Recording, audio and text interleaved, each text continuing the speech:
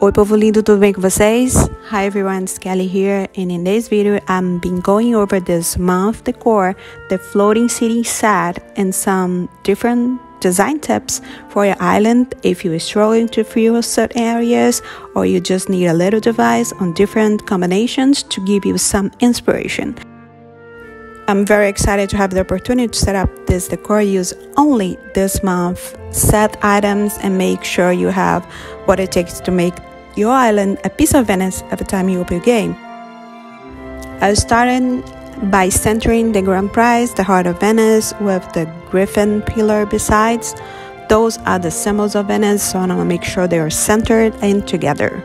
Right in front of them, I put the gliding gondola and the gathering gondolas along with it. And then I included the canal crossing alternating with water, pavement, and with the Venetian gardens and villas. Guys, make sure to pay a lot to have a lot of coins to buy many of those two items, the garden and the villas.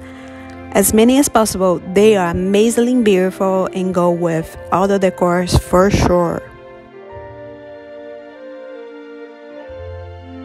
Well, next I included the west and north little bridges and added some palms to give a vivid green contrast around the decor and added the guided tours guide. For me, uh, they need to be next to the gondolas for sure to look as much realistic as possible. But if you cannot afford the guided tour guide, you can replace it for one by one decor like the palm, the lemon tree, the fountain, or the lamppost. After I added to my decor this cute refreshing fountain and to give some more colors, I included this totally Italian luscious lemon tree. It's so cute. Thanks Wooga again. And then I added the pavement together with the lamppost and finishing up with some more pavements and a lot of waters. I mean, a lot of water because that's what Venice is about the floating city tips of the letter items.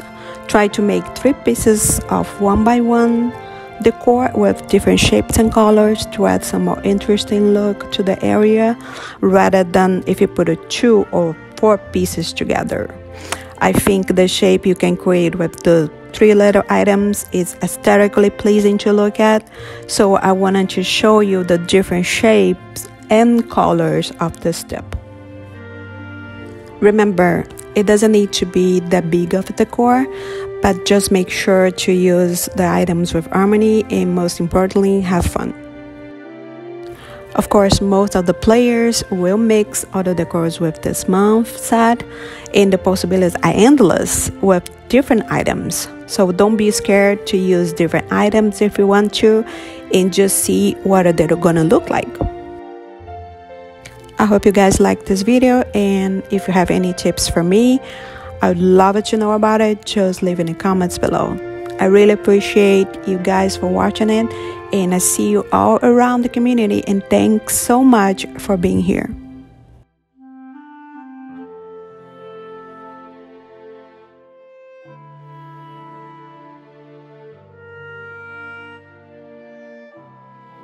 If you enjoyed this video, don't forget to like and subscribe.